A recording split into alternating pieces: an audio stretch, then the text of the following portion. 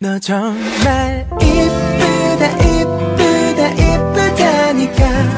왜 내 말 믿지 않는 건데? 왜? 말하고 말하고?